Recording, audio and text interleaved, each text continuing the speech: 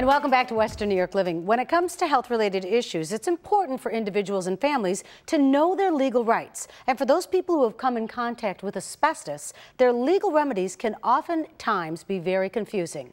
Lipsitz and Ponterio, attorneys at law, have been representing workers and their family members injured by asbestos for over 32 years. John Lipsitz and Michael Ponterio are joining us this morning. Thank you so much for being here. Good morning. John, let's start with how did you start representing people with industrial diseases? How did that come about in your law practice? Well, uh, 32 years ago, Mike and I started working on cases involving people that were exposed to asbestos on the job. And uh, at that time, the New York State Legislature had just passed a statute that basically allowed people who had been denied access to courts to have their day in court. These are people that were suffering from lung cancer and mesothelioma caused by exposure to asbestos on the job. And Michael, what is asbestos and why do we hear about it so much in this area? Sure, asbestos, Janet, is an indestructible fiber that was put into thousands of products from construction products, brakes, joint compound when you do home remodeling to kitchen pot and pan handles. And because of this indestructible nature of the fiber, it was very injurious to people that breathed in the fiber. And the companies, the asbestos industry, for decades knew of the dangers and never warned anybody. And that's why we've brought these lawsuits on behalf of families in Western New York. So, what would be some of the injuries we'd see with asbestos? The principal one, and it's only caused by breathing in asbestos, is called mesothelioma. Mm -hmm. It's a, unfortunately a terminal cancer, surrounds the outside lining of your lung or your diaphragm, and you can get mesothelioma from whether you worked 30 years at a factory or one month or a summer job. Mm -hmm. uh, the breathing in the fibers, unfortunately, stays embedded in your lungs and lays dormant for 30 years until it forms this cancer. So, John, somebody's watching right now, and maybe they feel that either them, unfortunately, or a family mm. member might be affected by asbestos. What's the first step they take to getting to you?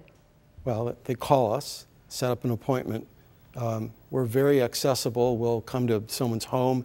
And even if it's a person that was exposed to asbestos in Western New York and moved to Arizona or Florida for retirement, we'll come there. And we'll meet with them. We'll take a history of their, you know, how they were exposed and talk about the medical treatment they've had, figure out, find out about their diagnosis, and then, then we'll, we'll pursue a legal claim on their behalf. We'll, you know, we'll seek justice for them, which is what we do. And if somebody's dealing with mesoph how do you mesothelioma? Thelioma. So if they're dealing with that and they're not feeling medically able, your firm can help represent them and speak on their behalf.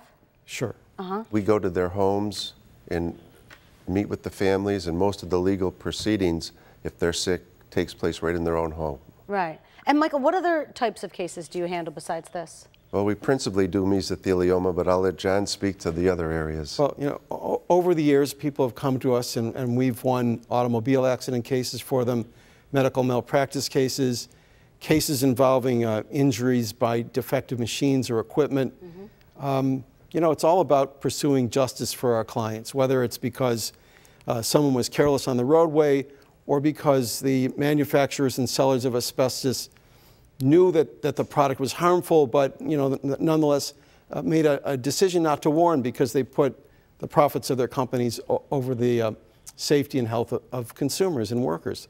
So it's, it, you know, it, whether we're representing someone in an automobile accident or, or the core work that we do, which is mesothelioma cases, we're there to pursue justice for the families and make sure that we, we we help provide for them, even after a loved one has passed away right. in many cases. I'm sure that somebody watching right now is going to benefit from you both being on Western New York Living. Congratulations on a great law practice in Western New York. I like that a lot. Thank, Thank you. you. All right, if you believe that you've been injured by asbestos or are suffering from other industrial diseases, find out your legal rights by contacting the attorneys at Lipsitz and Ponterio. Their offices are located at 424 Main Street, Suite 1500 in Buffalo. You can give them a call at 849-0701, and you can find out more information on their website, which is lipsitzponterio.com. It's Lipsitz and Ponterio.com. committed to asbestos justice.